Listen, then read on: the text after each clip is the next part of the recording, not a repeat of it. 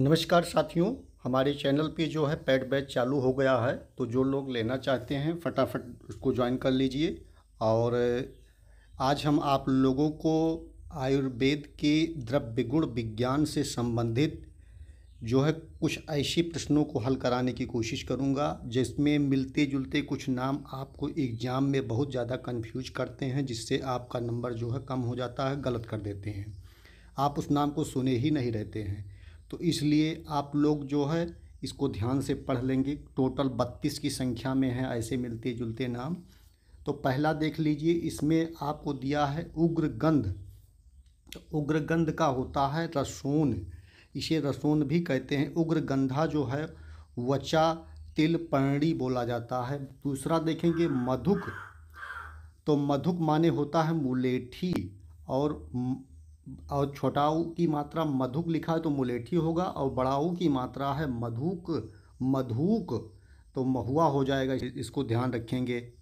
जहाँ मधुक लिखा होगा, बड़ाऊ की मात्रा होगा, उसे महुआ समझेंगे आप लोग। प्रश्न तीसरा देखेंगे, इसमें लिखा है तरुष्का। तरुष्का यानी कि परशीक यावनी इससे परशीक यावनी के नाम से भी जाना जाता है। अरुष्कर देखेंगे तो इसे भल्लांतक बोला जाता है, और करास्कर बोलेंगे तो ये कपिलू होता है। चौथा देखेंगे इसमें लिया है, परूषक फलासा होगा, पर तरूषक, तरुष्क जो है, शिलारस होगा। पांचवा देखेंगे, पांचवा दिया है, अग्निमुख। अग्निमुख को भल्लांतक बोला जाता है, अग्निमुखी को कालिहारी बोला जाता है। और तीसरा देखेंगे, नलद। तो उसीर बोलते हैं, नलदा जो लिखा होगा तो जठामासी होगा धात्री फल अमलकी को बोला जाता है और धात्री पत्र रहेगा तो तालीस समझेंगे पलंकस। तो गुगलू समझेंगे पलंकसा जो लिखा रहेगा तो गोछरू समझेंगे कुष्टग्ना नाम बोला जाएगा। कुष्टग्न बोला जाए तो खादिर को समझेंगे। ठगनी लिखा रहेगा तो बाकुची होगा कुष्टवैरी लिखेगा, रहेगा तो तुअरक होगा। ये अमृत लिखा है तो अमृत का वसनाभ होगा और अमृता लिखा रहेगा, ताकि मात्रा आ जाएगा तो गुड़ची हो जाएगा ता पर आ की मात्रा आ जाए, गुड़ची हो जाएगा। तीसरा देखेंगे, इसमें लिखा है पिंड फल। तो पिंड फल मदन फल होता है, पिंड फला जो लिखा रहेगा होगा तो इच्छवाकू होगा। बारह देखेंगे, बारह नंबर पे माता यानी कि हरित की। अभिषेक माता भी वासा को बोला जाता है, अभिषेक प्रिया जो है गुड़ची होती है। तो तीनों में कन्फ्यूज़न होता है, लोग कन्फ्यूज़ हो जाते हैं। बहुत ज़रूरी है, याद कर लीजिएगा।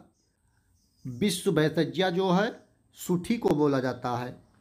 प्लीहा शत्रु लिखा रहेगा तो सरपुखा समझेंगे, प्लीहग्न लिखा रहेगा तो रोहितक समझेंगे।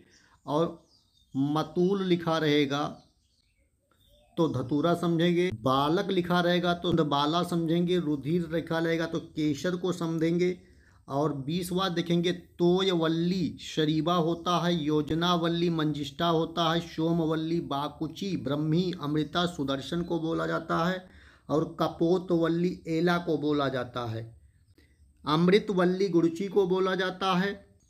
देव कुसुम लिखा रहेगा तो लवंग को समझेंगे, देव दुंधी लिखा रहेगा तुलसी होगा, देव धूप गुग्गुल को समझेंगे, छब्बीस देव स्पर्श यावस को समझेंगे देव स्पर्शा धान्यवासा को समझेंगे सहदेवा महाबला को समझेंगे। देवी लिखा रहेगा तो सादेई हो जाएगा महापत्र लिखा रहेगा तो मानकंद हो जाएगा, और महामूल लिखा रहेगा तो पाताल गारुड़ी होगा, महा, महाफला लिखा रहेगा तो जम्बू होगा, महावक्कल लिखा रहेगा तो कंठ फल होगा।